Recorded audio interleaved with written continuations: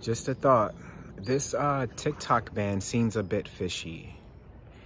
Do you really think China is fighting against censoring?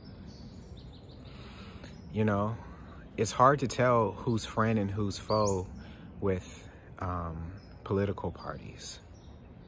A lot of them play characters in front of us, and then behind the scenes, they're going over their lines of the script it just seems like as though this TikTok theme, this TikTok, you know, band theme is conjuring in public um, encouragement for them to infringe on our rights. That's what it seems like.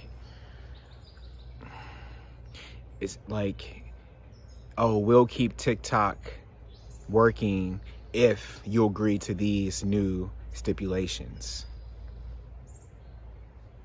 You know, remember, it was China and the Chinese party that really wanted Biden to be elected. Trump said if Biden is elected, then China will own America. I mean, I'm not saying that is what the case is. I'm just making some points of things to look out for.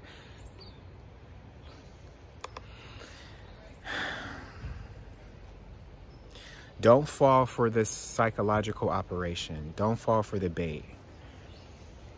Just wait and use your logical mind and assess the situation before you let your emotions get all worked up about the banning of TikTok, which really TikTok is the most censored app anyway.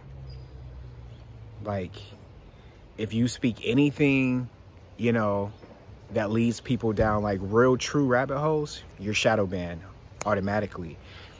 So remember, TikTok is not, you know, an American company. And yes, it does pose as like, you know, a national security risk. I just, that's just duh, duh. But is this ban what they are making it out to be? No. Smoke and mirrors. So which reflection are you seeing?